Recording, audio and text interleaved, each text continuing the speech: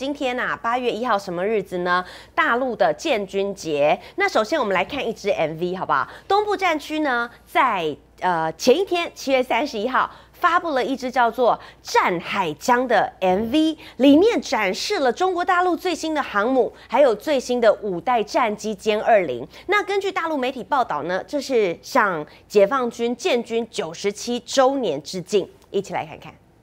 东海波涛，利剑苍穹一出鞘，战鹰翱翔，如星火在闪耀，军旗猎猎，海战万里迎风战。敢大地声，豪情激荡似火烧。头痛苦，战烦躁，耳痛苦，进战袍，三痛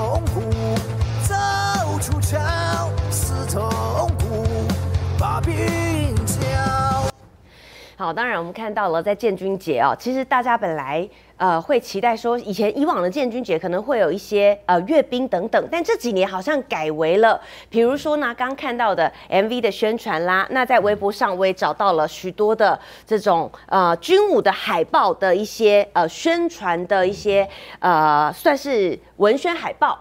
那么大陆国家主席习近平也特地发表了说话，他说呢，中国边海防空内涵。呃，和外延伸发展深刻变化，所以呢，影响因素更错综复杂，所以他认为接下来中国大陆的目标是建设强大的边海空防。您怎么看？我们先说一下八一建军节的来源呢，它起源于在一九二七年的八月一号，中国共产党以及中国国民党左派。啊，所谓中国国民党革命委员会啊，两大系统啊，发动了在南昌起义，然后对立面呢是中国国民党蒋介石派跟汪精卫派，嗯啊，所以你可以看得到那一次的这个八一建军节哈，两方面所用的旗帜都是所谓的国民革命军第几军第几师，两边都一样啊，还有比较特殊是在。这个共产党方面有这个叶挺独立团，很有名的叶挺独立团，非常有作战力。那两方面呢？呃，最后啊，这个共产党全体委员会所领导的南昌起义失败，嗯啊，那失败，哎，的确呢形成了第一代的啊，这个工农红军，就是后来的解放军。这样的一个建军历史啊，当然经过很啊残酷也很惨痛的经验。啊，最后解放军在一九四九年呢，那么击败了蒋介石所领导的国民党的军队，啊，然后成为全世界数一数二最强大的军队。那后来改名叫解放军，所以八一建军节啊，可以说经过国共内战啊，经过抗日战争，那这些经过国共内战的这些呃共产党前敌委员所领导的军队，很多人其实在北伐之前的。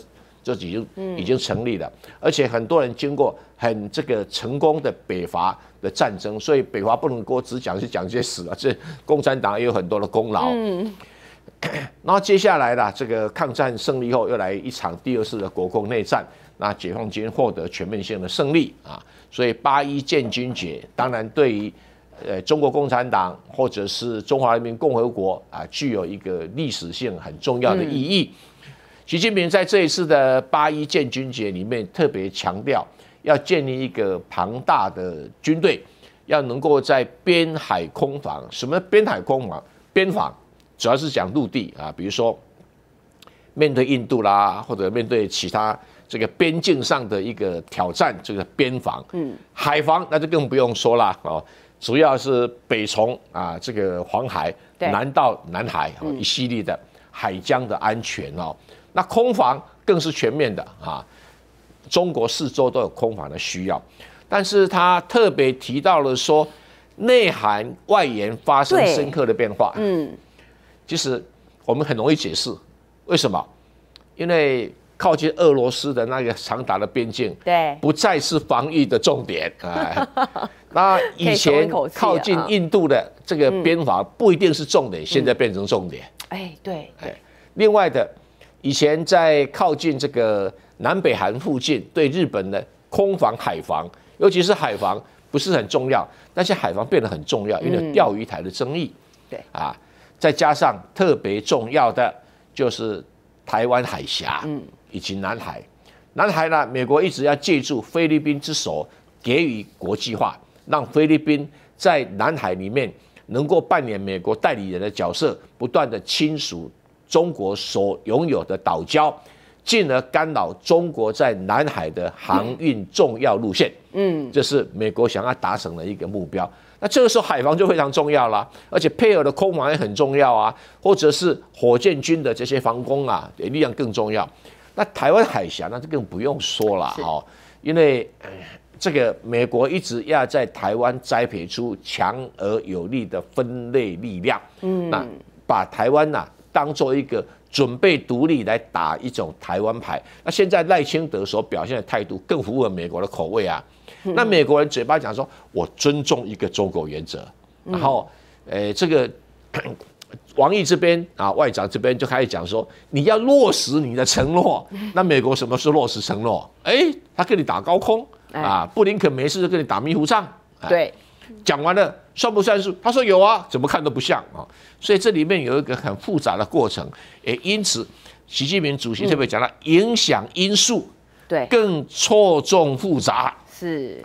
美国跟你打马虎迷糊仗，你当然就更错综复杂。对，而且发现美国好像以前还说话算话，哎，现在说的话不知道哪一些算，哪一些不算呢？哎呀，因为他们对对起美国内部人讲话也不太算数啊，所以我们不能期待太多，不能期待太多。所以要建设强大的边海空防，因为你只有强大的边海空防的防御力量，对，进攻的力量。美国人才会听得进去我们中国讲的话。美国就是怕肌肉、怕拳头啦，这也难怪哦。在建军节的时候要秀出啊所有的战机、所有的东风啊、所有的士兵英勇的这些的画面。好，当然就是要秀给美国看，不要以为中国是啊吃软不吃硬哦。我们来看一下哦。所以呢，大陆国防部长董军也说啦，时刻准备有效的捍卫国家利益，同时要遏制和粉碎一切的分裂行径。这这呼应了。刚才蔡博士所说的，那再加上台湾海峡被您说中了，台湾海峡现在已经变成重中之重了。尤其是我们来看一下，七月三十一号，就是在解放军建军节的前一天，果然加拿大的这个巡防舰。台海一游，我就觉得很奇怪，这么远千里迢迢来干嘛呢？好，加拿大说哦，我们来实现我们的这个印太啊，这个呃防御加拿大皇家海军的巡防舰蒙特楼号通过台海这件事情，解放军。东部这新闻发言人李希做出了回应，他认为你们就是来滋扰搅局，东部战区随时保持高度戒备来应对一切的威胁。您怎么看呢？这种呃各国的军队海军呐，好像时不时动不动啊，就以这样子的理由来台海一游。董军讲话，我发现到哈，比很多的。大陆的这些呃其他的这个人士讲的更精准，他每一次用语都非常的精准。比如这一次就讲话，捍卫国家利益，南海以及钓鱼台，这个是捍卫国家利益啊。对，哦，因为中国的主权利益在东海，在这个南海是很清楚的，所以捍卫国家利益，再来遏制。以粉碎一切分裂行径，是针对台湾海峡的嘛？嗯，他就很具体的，让你听到他讲的话，就可以想象出那个画面、那个地图，就知道说，现在解放军防卫的重点就是在东海、南海跟台湾海峡。啊，那为了处理这个，也要想办法在西太平洋能够拒止美军跟日本军队的介入。嗯啊，日本不军队不是很嚣张吗？我在与那国岛放战斧飞弹，我在石岩岛放这个什么其他的中程导弹。对，提风不怕敌之不来，啊，只怕我们有没有准备。嗯啊，所以董军啊，作为一个国防部长，用于前置非常非常的恰当跟精准。加拿大这个海军巡防舰，他说印太战略，简单讲，他没有办法从加拿大一条船开到台湾海峡。对，中间要停哪里？对，日本。哦，对，或者是阿拉斯加，因为它是需要补给的嘛。嗯，你这种船舰要需要补给的船舰，油料啦，哦，各方面饮料啊，都需要补给的船舰。巡防舰基本上不是特别大的舰啊，大概呃几千吨吧。嗯，然后他为什么七月三十一要通过呢？当然可以解释说，他七月份本来就计划通过，可是他是故意挑在八月一号的前一天。哦，他故意的，很明显故意的。但是东部战区的发言人讲说，我们要保持高度的戒备，应对一切威胁。对，随时应对一切威胁。我建议可能还有具体的行动比较好。你觉得应该要再硬一点？我来打一个比方哈，曾经啊有一艘挪威的这个舰艇，非常靠近俄罗斯的圣彼得堡附近。哦，发生什么？俄罗斯二话不说啊，就派出军机做什么呢？不是去表达意见而已，直截了当在那个那一条舰船上面哈，倒下一桶黑油。你们你们女性同胞可能不知道什么黑油哈，机油吗？呃，机油是好的。机油。啊，就机油用完了以后不能再用，以后要把它倒出来换新的机油。啊，那个叫黑油。啊，我懂了。啊，那黑油。特别脏，哎，对对的，故意把你说要机油机油是好清理，黑油就很难清理。俄罗斯废物利用哦，把它 这个不要用的黑油拿来当成它的武器呀，哎，那那一条船只好这个。这个仓皇哈离去嘛，不会坏，不会沉，但是搞得你很麻烦。不会不会，这 给你添麻烦，就有点的像上次不是个澳洲的一个侦察机来吗？对，那解放军的军机就丢了一个银丝卷给他。我我不是不是真正银丝酒，是开玩笑，很多的铝铝丝条，那会卷进他的这个诶发动机里面，那他就要这样别不宜久停于空中，他就马上逃回去了。是，一定要给他困扰，因为哈。这个美国方面派来的人哦，他们觉得他们有美国靠山哦，动不动就来耀武扬威。耀武扬威，你不吐他一口痰，只是光骂他没有用，没有用。这些人不会听的。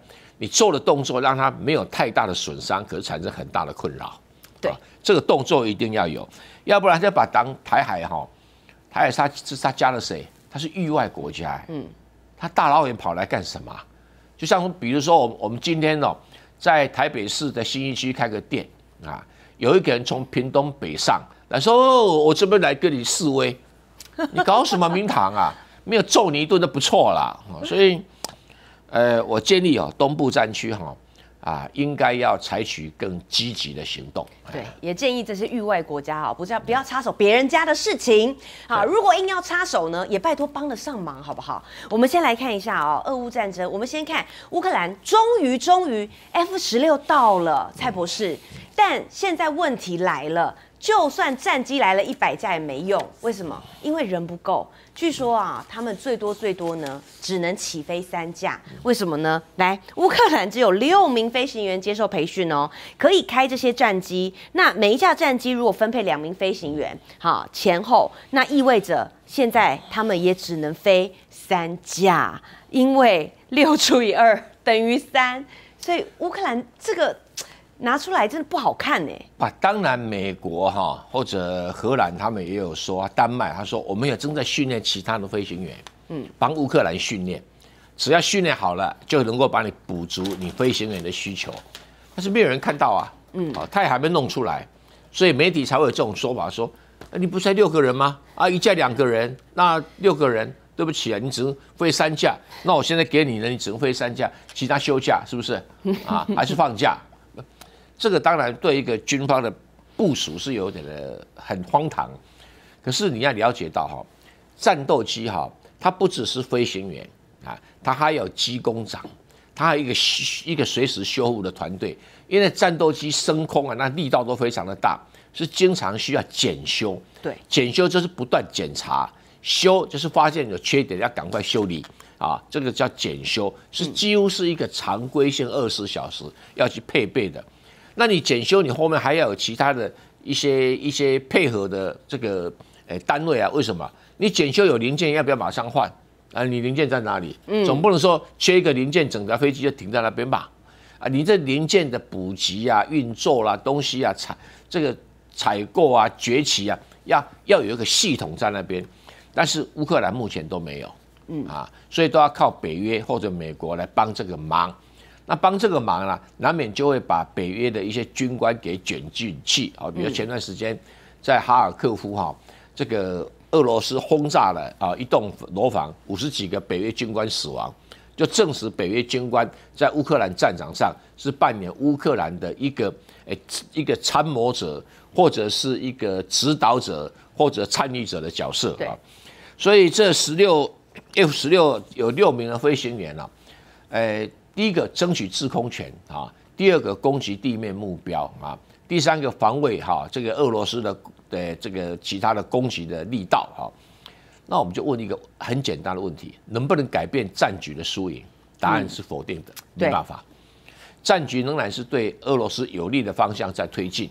那我个人也非常好奇，因为我没有看过，或者以前这个战争记录上也没有见过。就是美国的 F 十六战机对抗上俄罗斯的什么苏凯奇啊？我不我不在意苏凯奇，拿出来对对看，是不是 F 十六有神到那种地步啊？原因很简单，台湾不是买了很多 F 十六吗？当然是所谓等级比较高的四代半叫 F 十六 V。那 如果这个乌克兰 F 十六不太行的话，那大概台湾版是 F 十六 V 哈。也要准备搁到仓库去了，真的是很尴尬的一件事情哦。好，接下来呢，讲完了这个战事啊，我们再来看一下运动场上的战事了。先跟大家告诉大家一个最新的消息哦，啊，张雨霏前几天大家都还在雨霏别哭，哎，雨霏很有希望，她接下来还会有夺金的希望哦。前几天呢，在一百米的蝶泳赛事啊，拿下了铜牌，她觉得有点气馁，因为毕竟她是有这种金牌实力的。接下来呢，告诉大家，在今天应该说明天的。凌晨啦，因为有跨夜嘛，所以呢，在呃八月二号的凌晨两点半钟的时候呢，会有这个比赛是两百米的蝶泳的夺牌战。那么在预赛的部分呢，其实张雨霏表现的非常非常的好，她以第一名的成绩进入了晋级决赛啦。但你也知道，预赛归预赛嘛，还是决赛比较重要。好，这是最新消息。然后呢，再来告诉大家，真的拿下金牌了。今年大陆的游泳队呢，特别受到了关注啊。因为那个《纽约时报》一天到晚在搞这个禁药争议，但是呢，扛着这么大的压力，我们先来看一下这边。好，首先呢，巴黎奥运男子一百米的自由泳决赛。哇，昨天这位小将呢，潘展乐，你知道吗？他游出的这个成绩是破世界纪录的哦，四十六秒四零，这也帮助了中国泳队在巴黎奥运拿下第一面首金。好，他今年才十九岁而已哦，啊，那他其实呢，从小就开始练游泳了。那最近呢，媒体就找出来，他十岁的时候，他曾经讲过这么一句话，有人就问啊，记者就问说，那你觉得你要怎么拿冠军呢？当时候他就讲了这么一句。句话，我只要游得比孙杨快就行了。哇，他还真的游得比孙杨快啊！但这次呢，他拿到了金牌啊。呃，这个蔡博士你怎么看呢？今年哦，中国其实扛了很蛮大的压力哦，但是这些小将真的是不负众望。我们先理解一件事情啊，在西洋人的眼中，嗯，游泳尤其是男子游泳，他认为是他们的天下。哎，有人就这样形容说，奥运泳池是白的。对，诶，看过去的记录也的确是如此。嗯，但是奥运的游泳池现在开始变黄，哎，因为我们中国大陆的泳将一直都非常努力，力争上游，而且有时候被很多人认为我们在体型跟体力上居于这个劣势。嗯，就表现给你看，嗯，突破这个劣势，你们继承观念所谓的身体结构上的劣势。但是我们这个发起的动力比你强。对，我们要特别提一下哈，这个自由式一百哈，嗯，那有点像那种田径场上那个短跑一百公尺是一样，通常都被认为是一个各种比赛中的一种殿堂中的殿堂，因为那个速度极快啊，技巧极高，至少很多人心目中这样认为。嗯，所以我也很喜欢看那些。短跑一百也很喜欢看这个所谓的自由式一百，因为自由式的自由是速度最快。对对，啊，而且它是五十公尺的游泳池，去啪嚓跳，马上回来。嗯哦，看着那个心脏跟血压哈都蹦蹦跳的。不小心拿个东西，你可能就错过了。对，没有错，没有错。而这一次潘展乐能够击败这个这个不管是澳大利亚、美国哈这些有名的勇将哦，真的是非常不容易，而且打破世界纪录。对，啊，哎，打破他自己的记录啊，我们感到非常的高兴，因为在赛前他曾经哎抱怨过，他说哈，他有跟那个哎这个 澳洲还是哪还是哪美国哪个勇将打招呼，他不理他。哎，对耶，被当空气耶。哎，然后在练习的时候啊，他们就故意把雪花溅在中国队的教练身上。嗯，浪花了不是雪花，浪花啊啊！他因为他毕竟年纪轻，十九岁哈，呃，年纪轻，心里当然会不舒服啦。哦，这个觉得他是瞧不起我们，就觉得被看不起。那你要知道哈，因为十九岁他很难理解啊，西洋的文化跟咱们中国文化就硬是不一样。咱们中国文化。会尊重弱者啊，依让而生啊，这是一种礼仪，一种一种君子的风度。但是美国人哈，或者是澳洲人，他们有个坏习惯，他们崇拜英雄，嗯，崇拜强者，崇拜比他强的人，瞧不起比他弱的人，而且还鄙视比他弱的人。你只要看到美国的摔跤运动就知道了。所以，连在奥运这种不应该的这种现象的话。都刻意这种小动作上鄙视中国的勇将，所以潘展乐会就觉得不舒服。可等到潘展乐打败他拿到金牌了以后，他就主动过来跟潘展乐恭喜。太假了，太假了。这是西洋文化。是你打败他，他钦佩你。哦。你不能打败他，他瞧不起你。是啊，这个求取强是咱们中国唯一取得生存之道。